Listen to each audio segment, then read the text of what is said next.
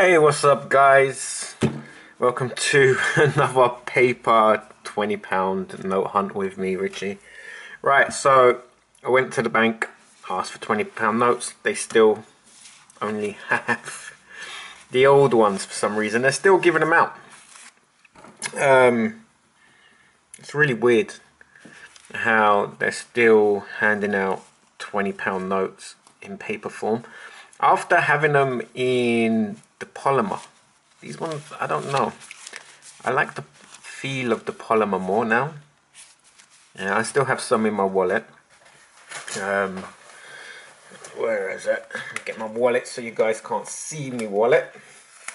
Pull out a polymer one. So I went to the same bank, cash machine, and I get a new one.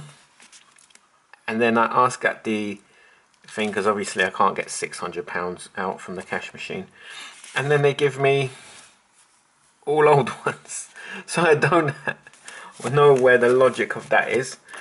Um, really odd how that's happened, but I guess that's the way it's going to be for a little while longer. Right, so it was a different person who served me, so they haven't sorted out any of the notes. So we're going to quickly just bring them all so they're all the same. Uh, let's flip them around. So this could be one of the last times these are being used for anything.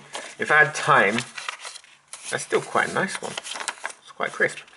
Um, if I had time, I'd go Bank of England.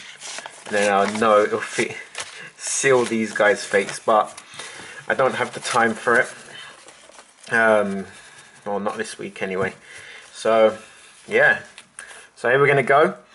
We're going to look at the queen side as always first. Then we're going to swish it around to the Adam Smith side. And I can feel a sneeze coming. So if I sneeze, I hear it comes now.